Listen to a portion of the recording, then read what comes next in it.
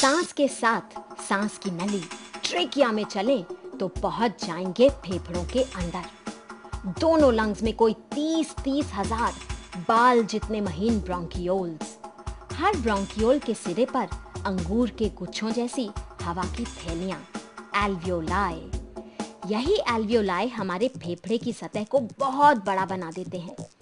सतह पर फैली कैपिलरीज इतनी महीन कि वो एक बार में सिर्फ़ एक ब्लड सेल को ही जाने देती हैं।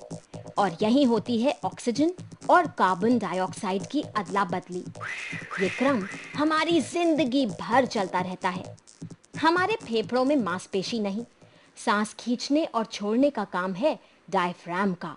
एक मेहनती मांसपेशी, जो रबर शीट की तरह छाती को पेट से अलग रखती है। डायफ्राम सिकुड़ता है, नीचे खिंचता है तो लंग में जगह बनती है। वो फैलते हैं और सांस अंदर आती है।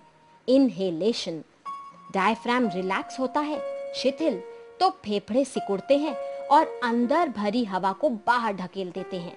एक्सलेशन इसे एक मज़ेदार मॉडल बनाकर समझा जा सकता है। यहाँ, इस बिना पेंदी की बोतल में नीचे लगा बड़ा गुब्बारा है डायफ्राम बोतल हमारी छाती और अंदर लगे दो गुब्बारे, हमारे फेफड़े। मैं क्या लाई वाओ केटू ये हमारे एल्वियोलाई है ना? हम्म एल्वियोलाई जिनकी पतली दीवारों से कार्बन डाइऑक्साइड और ऑक्सीजन इधर से उधर जाते हैं। वैसे केटू एक बात बताइए ह्यूमन लंग्स के बारे में तो हम सब समझ गए लेकिन ये जो